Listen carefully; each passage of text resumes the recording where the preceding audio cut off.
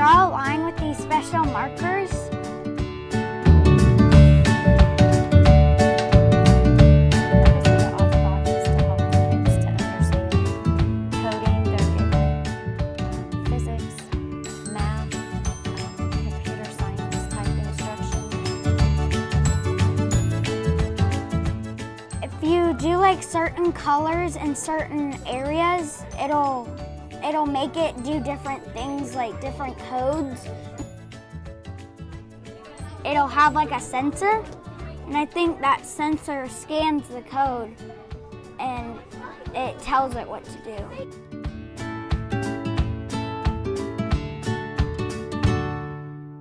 Code is a special like formula that helps computers work.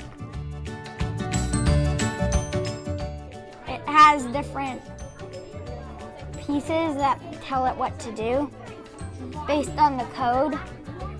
You want to, you could draw like a bunch of turbo codes and they make it go really fast.